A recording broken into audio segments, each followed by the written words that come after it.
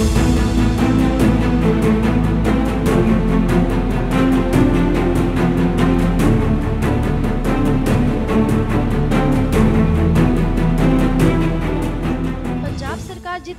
ਅੰਦਰੋਂ ਨਸ਼ਾ ਖਤਮ ਕਰਨ ਲਈ ਸਰਕਾਰੀ ਦਫ਼ਤਰਾਂ ਤੇ ਵਿਦਿਅਕ ਅਦਾਰਿਆਂ ਦੇ ਬਾਹਰੋਂ ਤੰਬਾਕੂ ਉਤਪਾਦਾਂ ਦੀ ਵਿਕਰੀ ਤੇ ਰੋਕ ਲਗਾ ਰਹੀ ਹੈ। ਉੱਥੇ ਮਲੇਰਕੋਟਲਾ ਦੇ ਸਰਕਾਰੀ ਕਾਲਜ ਦੇ ਮੁੱਖ ਗੇਟ ਸਾਹਮਣੇ ਹੀ ਪਾਨ ਮਸਾਲੇ ਦਾ ਇੱਕ ਵੱਡਾ ਇਸ਼ਤਿਹਾਰ ਲੱਗਿਆ ਹੋਇਆ ਸੀ, ਜਿਸ ਨੂੰ ਲੋਕਾਂ ਤੇ ਕਾਉਂਸਲਰ ਅੰਸ਼ੂ ਜ਼ਖਮੀ ਦੀ ਸ਼ਿਕਾਇਤ ਤੇ ਐਸਡੀਐਮ ਵਿਕਰਮਜੀਤ ਸਿੰਘ ਵੱਲੋਂ ਉਤਰਵਾ ਦਿੱਤਾ ਗਿਆ। ਇਸ ਤੋਂ ਇਲਾਵਾ ਨਗਰ ਕੌਂਸਲ ਦੇ ਮੁਲਾਜ਼ਮਾਂ ਦੀ ਅਣਗਹਿਲੀ ਵਾਸਤੇ ਕਾਰਵਾਈ ਕਰਨ ਦੀ ਗੱਲ ਵੀ ਆਖੀ ਗਈ। ਇਹ ਸਰਕਾਰੀ ਸਕੂਲ ਦੇ ਬਾਹਰ ਮਤਲਬ ਗੁੱਟਕੇ ਦੇ ਵਗੈਰਾ ਦੇ ਮਤਲਬ Illegal ਸੀ sir ਜਿਹੜੀ ਫਲੈਕਸ ਲਗਾਈ ਜਾ ਰਹੀ ਹੈ। ਹਾਂਜੀ ਕਾਲਜ ਦੇ ਬਾਹਰ ਜਿਹੜਾ ਇਹ ਫਲੈਕਸ ਬੋਰਡ ਲੱਗਿਆ ਸੀ ਇਲੀਗਲ ਲੱਗਿਆ ਸੀਗਾ। ਜੀ।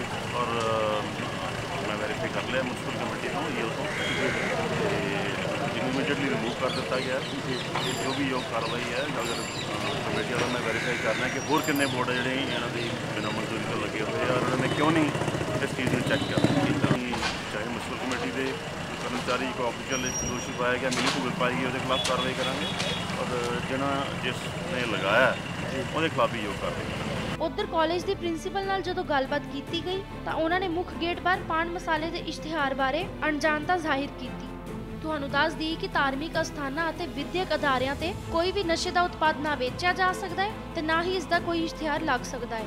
ਪਰ ਨਗਰ ਕੌਂਸਲ ਦੇ ਅਧਿਕਾਰੀਆਂ ਵੱਲੋਂ ਇਸ ਤੇ ਸਖਤੀ ਵਰਤਣੀ ਚਾਹੀਦੀ ਹੈ। ਮਲੇਰਕੋਟਲਾ ਤੋਂ ਮਨੀਸ਼ ਕੁਮਾਰ, ਦੈਨਿਕ ਸਵੇਰਾ ਟੀਵੀ। ਤੁਹਾਡਾ ਕੈਨੇਡਾ ਤੋਂ ਵੀਜ਼ਾ ਰਿਫਿਊਜ਼ ਹੈ ਇਹ ਵੀਜ਼ਾ ਰਿਫਿਊਜ਼ ਹੁੰਦਾ ਕੋਰਸ ਦੀ ਗਲਤ ਚੋਣ ਦੇ ਨਾਲ।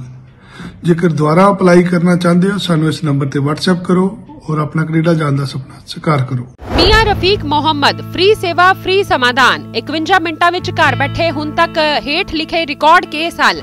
ਵਸ਼ੀਕਰਨ, ਲਵ ਮੈਰਿਜ ਪੀਆਰ ਲੋਟਰੀ ਸੱਟਾ ਨੰਬਰ। ਸੰਤਾਨਹੀਨਤਾ ਦੇ ਧੋਖਾ ਖਾਏ ਭੈਣ ਭਰਾ ਲਈ ਫ੍ਰੀ ਸੇਵਾ। ਸਿੱਧੀਆਂ ਅਤੇ ਚਾਰ ਇਲਮਾਂ ਦੇ ਬੇਤਾਜ ਬਾਦਸ਼ਾਹ, ਤਕਦੀਰ ਕਦੋਂ ਬਦਲੇਗੀ? ਸੱਚਾ ਪਿਆਰ ਮਿਲੇਗਾ ਜਾਂ ਨਹੀਂ? ਲੋਟਰੀ ਨੰਬਰ ਪਾਓ। ਜੇਕਰ ਤੁਹਾਡਾ ਅਜੇ ਤੱਕ ਕੰਮ ਨਹੀਂ ਹੋਇਆ ਤਾਂ ਇੱਧਰ ਉੱਧਰ ਨਾ ਭਟਕੋ ਸਾਨੂੰ ਫੋਨ ਕਰੋ। ਮੀਆਂ ਰਫੀਕ ਮੁਹੰਮਦ।